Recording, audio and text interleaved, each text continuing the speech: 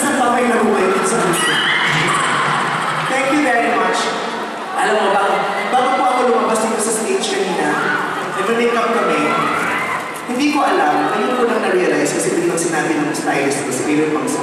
Sabi niya, ate, pang sampung araneta kulisin yung mga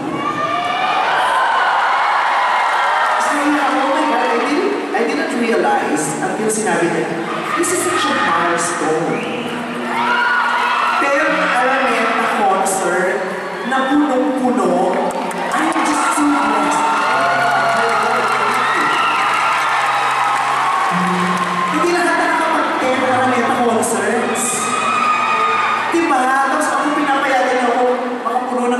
Ng araneta sa ikasampung pagkakataon. Maraming, maraming, maraming, maraming salamat. My heart is full of so much joy. I am overwhelmed tonight. Ten, ten araneta. Diba? Sa pang-sampung araneta ko na to. Pero nauna pa yung performer ni Salit sa Manila. Ano? Ganyan, talaga yung mga. Kaya, maraming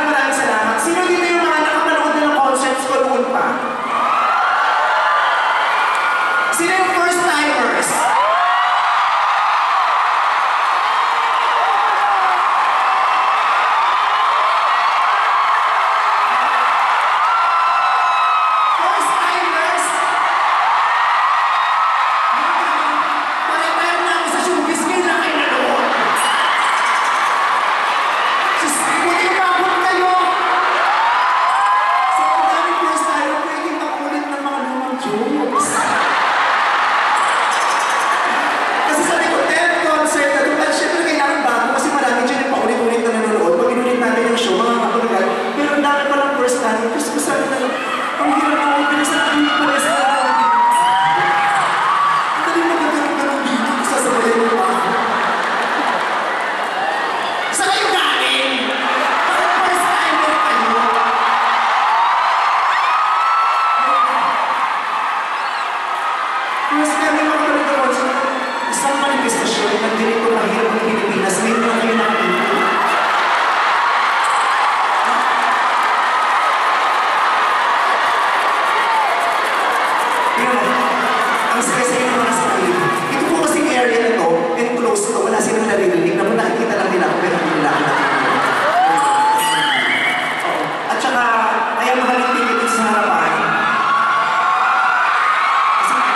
yung express